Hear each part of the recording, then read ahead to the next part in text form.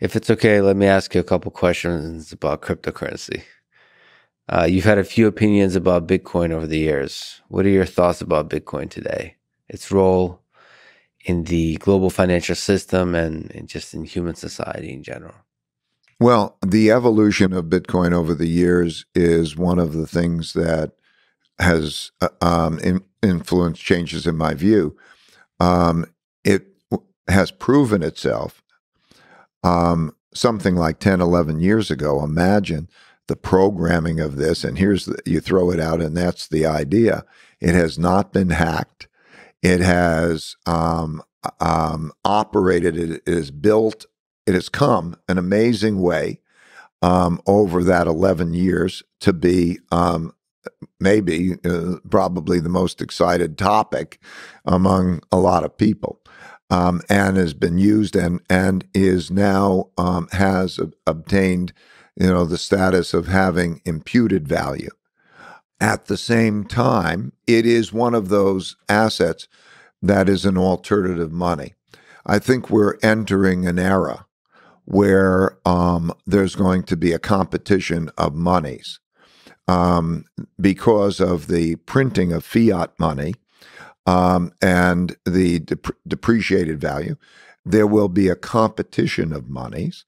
Um, and Bitcoin is part of that competition. But there'll be many monies, not just crypto monies, but uh, there'll be central bank crypto monies, um, but there'll be uh, different kinds of monies.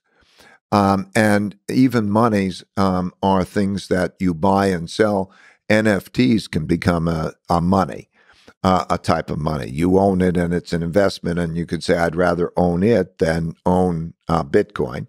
Has uh, Ray Dalio bought any NFTs? Not yet. Okay.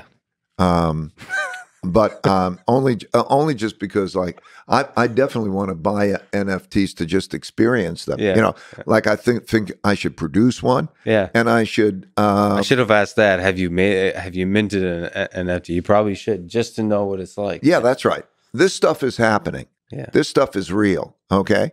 And how it operates. But like all new real things, um, some are going to go and some are going to, you know, it's like in, in uh, the internet in the year 2000, um, you know, pets.com could have been a great, but yeah. maybe pets.com doesn't make it. And who knows? That's the beauty of the competitive system that'll evolve and some things will be treasured and some things will be uh, trashed. So, um, um, but when I look at it, um, I think we are in an environment of you know what is an alternative money. A money has two purposes: a medium of exchange and a storehold of wealth. Um, and we are looking for, uh, um, and it's portable, and you can, and it's best if it's recognized in other countries. Um, so gold is one of those. So I look at it as an alternative gold, but I look at a number of things as alternative gold. Um, and I think that, and I think, and gold is still my favorite because of certain qualities. For example, um, you can't trace it. In, in Bitcoin, you can trace who owns it, where it's going, and and so on. Governments can have that ability to trace it and so on. A gold piece of coin, it's it's not connected. I think not connected has benefits, particularly in a world where maybe connections can be more risky. Um, so, um, and then also gold has been um, for many thousands of years universally recognized as a source of money. And central banks, it's the third largest uh, source of money in central bank reserves. And I don't think Bitcoin is going to serve those types of purposes and so on. So, for various reasons, I prefer gold to the other, but it's a little bit part of my mix. But then you look at it, it hit, I think, 69,000 this year is the high Bitcoin hit. Do you think it's possible? You mentioned gold. Do you think it's possible it reaches very high numbers, like 1 million that some people talk about? I don't I don't think that's possible because the way I look at it is there's a certain amount of um certain amount of it. And there's a certain amount of gold. I'll use gold as a benchmark. The amount of it is worth about five, uh, uh, about one trillion dollars. Total crypto is about two point two trillion. But let's say Bitcoin, uh, it's one trillion dollars.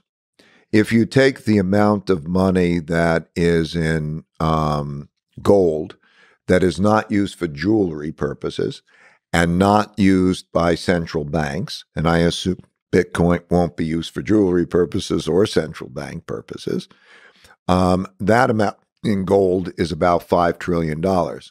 So, right now, if you were to ha- have a portfolio that has um, gold and crypto, um, gold and Bitcoin, it's worth about 20% of the value of gold. Do I think it's going to be uh, worth more than gold uh, in terms of that mix? I don't think it'll be worth more than gold, but let's say it became worth as as much as gold. I don't believe it will be. I think that 20% sounds kind of about right. I really don't know that what the right answer is. Um, and then there's the question of what is all of that pool of money that let's say gold and gold equivalents relative to everything else? Does it go from, you know, let's call it six, seven, eight trillion to 16 trillion? Maybe it could double. It depends what it is in the world environment. But basically, if you use gold as a measure, I um, there's no, it just makes no sense that it's going to be used um, th- that much more.